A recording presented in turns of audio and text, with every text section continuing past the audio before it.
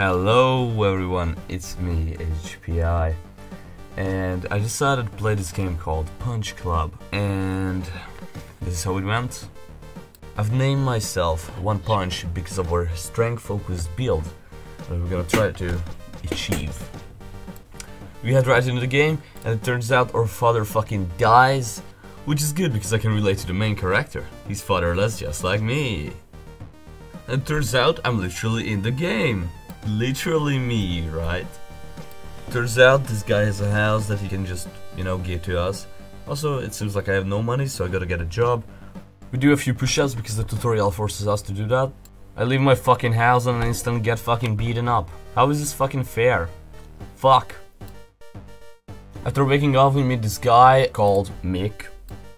We also gained a strong arm straight, I don't know why, but I'm happy that I got it. It turns out he has some kind of delivery thing from Apu, uh, this guy in the grocery store. After this, we go to work. We go back to Mick and talk to him. Starts talking about something like that we have potential and he can make us a champion. And he mentions some kind of amateur fight league in his friend's gym, so I guess we go there now. Right before that, I guess I gotta talk to Apu first about the delivery thing. We also buy some meat. I ate so much pizza that I realized there's a pizza place nearby, so I gotta check it out. And I also heard there are some like job opportunities here. The game literally tells us that he's dangerous, definitely illegal stuff. Just no. After this, we hit the gym. A silver who's basically like a box trainer. I decided to spar with him, and I realized that I have no chance.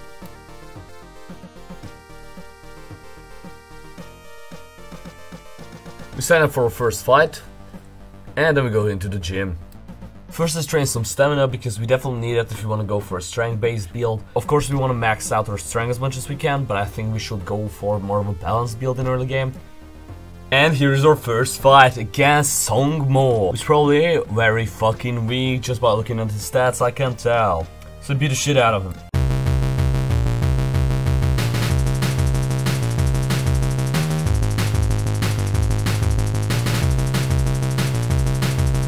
Seems like after our victory we got 3 skill points, which is really good. I get the tactics learn and trade, which doesn't seem that useful, but whatever, I get it anyways. And then I get the uppercut attack because it seems really cool. We start grinding because we're on a Sigma Male grind set, we get the money again, get food. When I arrive home, something unexpected happens. I find a suitcase in my home. I don't know what it does, but I'm definitely excited about it.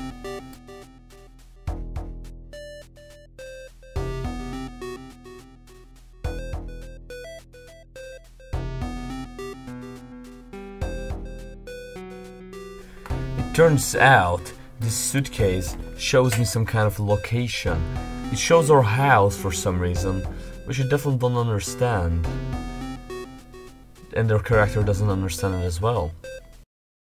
Uh, before the day ended, I tried to get my stats back to level 2, or at least my dexterity, but it turns out every day I lose some of my stats, so I need to tra train every day or get a trait that doesn't let my level drop down. It's time to have another fight where we're gonna replace our kick to the uppercut because it seems like a better option.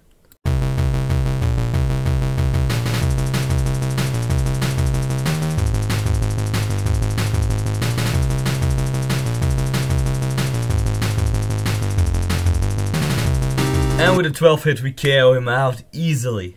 We have 4 more skill points to spend. I go to the gym because I gotta level up my stats. And I meet a dude, he asks me to help him out, I exactly do that. Tells me a place, uh, which is like a warehouse and there are like undergrounds fight there. But I don't really plan to like do Kengan Ashura stuff here. After I hit level 4 strength I realized that there is a trait that doesn't let my strength level go below 4. So I'm gonna of course take that because I can focus on other stats now. I train some more trying to hit the level 3 stamina. And then our suitcase just uh, shows another place right now. The grocery store kind of weird. Go and check it out.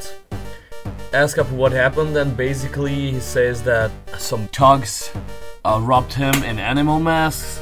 For for some reason they stole all the cat food and nothing else. Kind of weird. I wonder why. I go and work some more and then go back and buy some buy some more food. After this, I realize that soon I'm gonna have a match, so I train my ass off, get my stats back, and I go into the gym, and I train some more again. Unfortunately, I run out of uh, energy, so let's fight.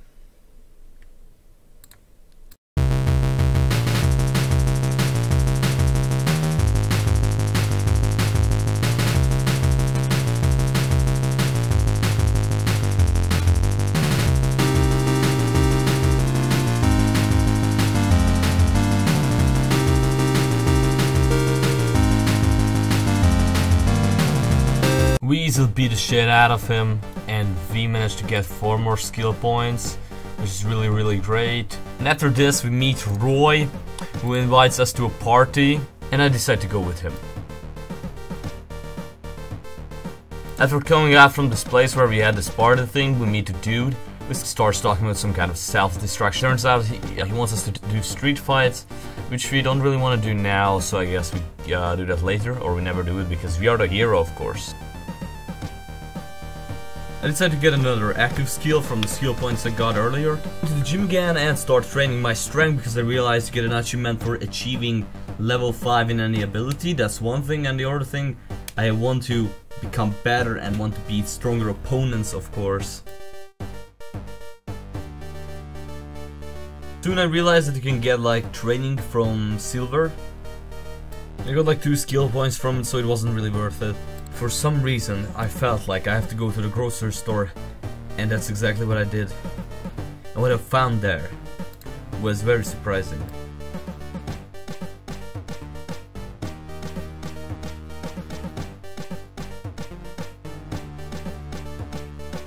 It turns out Apu is getting robbed, but it's not gonna be a challenge, but just by looking at the guy's stats, he's easy as fuck. We are better than him.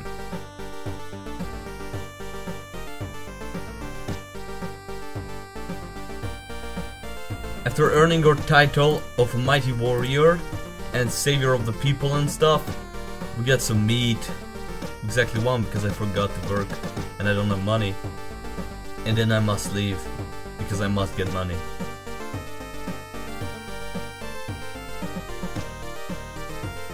I buy as many meat as I can and go to gym because we signed up for another fight and we gotta grind.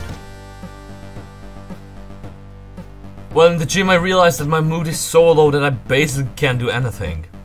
And that's fucking bad. When I arrive uh, at home, guy who gave me this house just tells me that I can buy my own gym equipment. And I realize that that's probably the next goal. The realization just shocks me. It costs so fucking much that I can't fucking buy it. Like, even if I grind a lot, it's gonna take a while. Next day we wake up and we have a fight with Roy Jackson. Let's see how it went.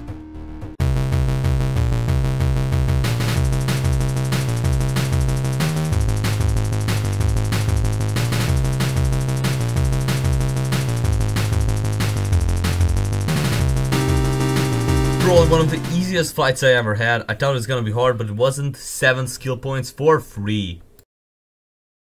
I get the cross punch and unfortunately because the cost increases by one I can't get another skill. And that means more fights for more skill points, which means gym time.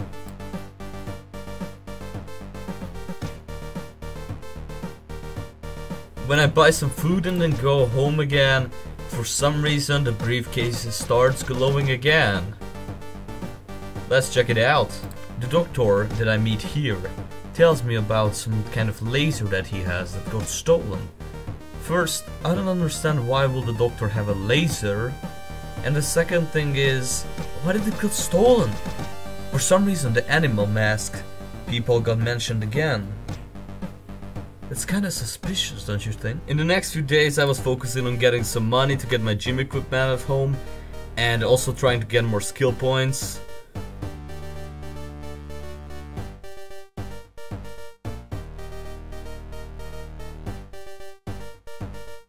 Also, we lost for the first time against somebody, against Roy Jackson, which we just beat a few days ago. This lose was just enough to get 2 skill points and get the high punch ability.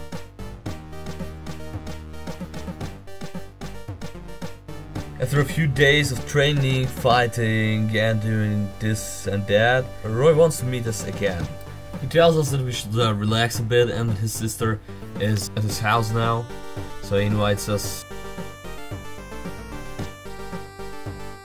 And of course, because it's a female, we go there, but first, the grind must never stop, so I gotta get some more money.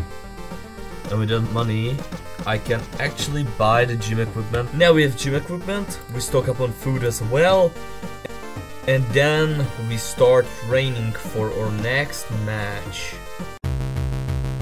Fortunately, after losing to Roy once, we lost almost all ELO rating, so we're gonna fight our way back to Roy.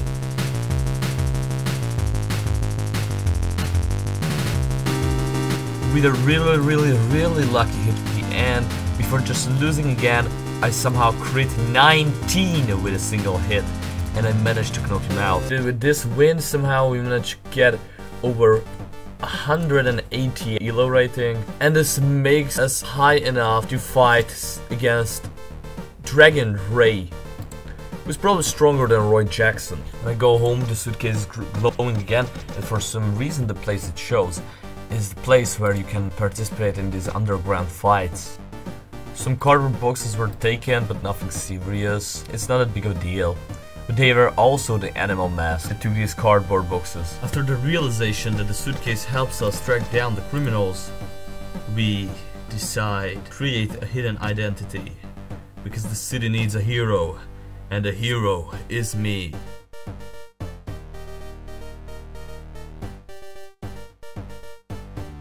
I am Dark Fist. Now after our emo phase is over we go to the gym again and we start training because I need to reach level 4 stamina and get a trait which doesn't let my stamina level drop below level 4. And it's time to have another training montage because we gotta level up all of our stats and get stronger. Now that we don't need to train stamina anymore and getting level 2 dexterity is pretty much easy as fuck, we can focus on strength training finally.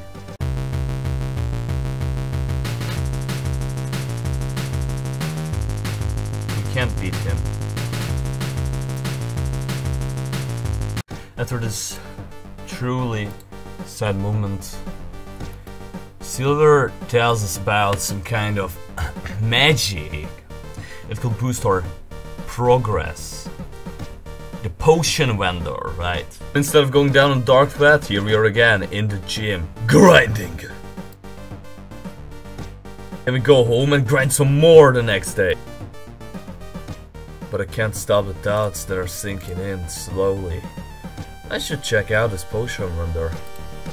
We go there, but not planning to buy anything because we are natties. We are not like that. We don't use steroids or anything like that. That's too gay. After working a little bit because I'm running out of money like usual, I go back and the suitcase is glowing again for some reason. We go there and we meet someone that is kinda familiar isn't this the dude that just beat the shit out of me in the beginning? I leave my fucking house and I instantly get fucking beaten up. Well, anyways, so he tells us about some problems with the animal mask guys again, and they want to set up some kind of ambush. So, yeah, this is how it went.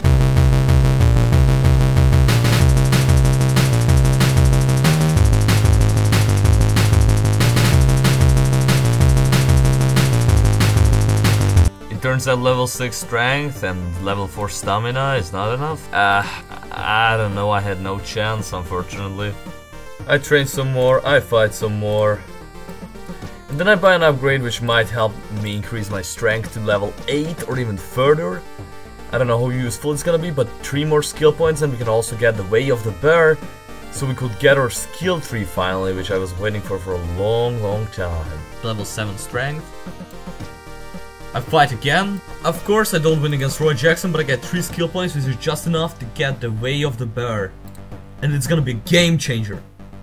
Once I realize that what it can actually do. After this huge achievement, we decided to go to Roy. It turns out his car broke down, so he can't really do anything unfortunately. He also tells us that we should talk his sister. And of course, because we are literally a lifeless loser League of Legends player in this game as well, really relatable, we instantly fall in love with her. And around two, late, two days later, where nothing really happened to us, we have to fight against somebody that seems actually stronger than all of our previous opponents just by looking at his stats. So yeah, this is how it went.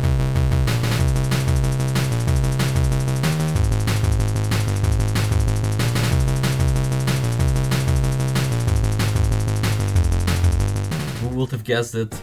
We lost because I still haven't realized how to change the fighting style, which would dramatically increase my chances of winning. After some thinking, I upgrade my uppercut to the powerful uppercut, which is a bit stronger and it's better. Because I'm pretty much bored out of my mind, I can't even get fights and I want to farm skill points.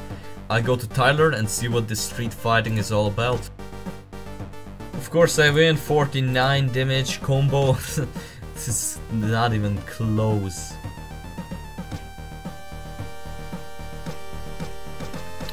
Do some sparring with Silver and I do some training because I want to get more skill points and I got 3 from the fight, I get 2 from Silver, that's 7 and probably in one more fight we're gonna be able to upgrade something else. I go home and continue the training and I get level 8 strength.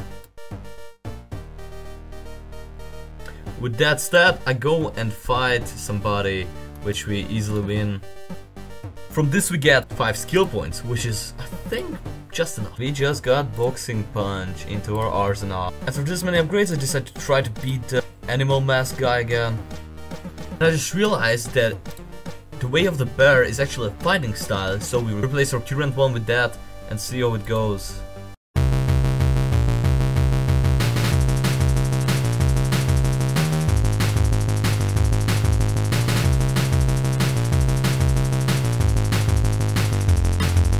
Was a lot easier than what I expected. Test yourself again. Because I'm bored out of my mind, I decide to do an illegal underground fight. And we're pretty much going to do that in like around... Too easy. I expected nothing to happen. But when I finished the fight, somebody with red glowing eyes is standing in the door. We asked the dude about this guy because it kind of feels like we met him before. He tells us he had the same feeling too, and people just call him the Man in the Black or the Red Eye. He tells us about some kind of tournament that he arranges on an island. So yeah, mm, absolutely Kengan Ashura. I guess I had to test myself again, I couldn't hold back. And with that extra skill points, we got the cross punch upgrade. I trained my ass off trying to hit that level 10 strength, but it's just not working out. Go home. And the suitcase is glowing again. This location. No, it can't be. It's Roy's house. When we arrive, nothing seems suspicious. Pretty much nothing happened. But his car is gone. Which doesn't have an engine. Weird, isn't it? He tells us that he, he and his buddy is gonna catch the animal mask guys. Of course, they stole it. Who else? But we, we tell him that we're gonna do it. When I go home, the suitcase is glowing again. We go there and we meet the motorbike guys again. One of the animal mask guys just uh, dropped a note. It seems like there is some kind of laser gun maybe, plus a bridge, and they want to destroy the bridge. Oh no! I am the Dark Fist and I must save the city. I have no other choice. After this, I quickly hunt down one of them, go to the bridge, and we meet a Reno thing guy. Well, yeah, we tell him that he should give back everything. And he of course disagrees and wants to beat us up, but he has no chance.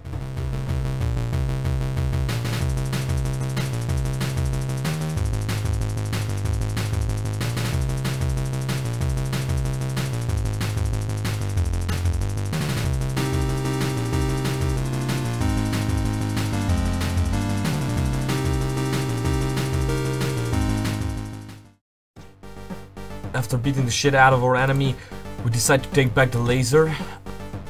I see a letter. Laser. Cat. No laser? Dead cat. It must mean one thing.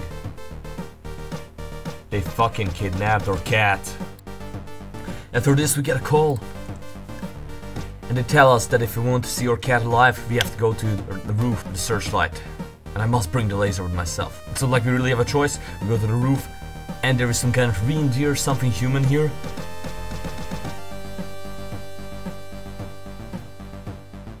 We have to fight him because he doesn't give us the cat back. Bro moves. 11 strength. But I'm the hero and I can't give up just yet.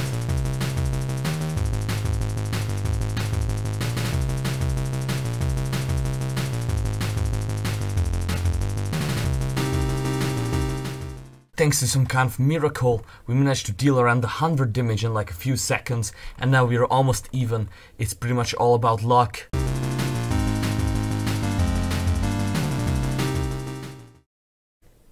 And we landed two hits, and he's already knocked out. We save the cat, and the cat is walking towards us. He's, he, he stops at the edge of the wall rooftop, and then the wind blows him down. We grab his hand, trying to pull him back, but he's slowly slipping out. And the cat is fucking dead. Fuck.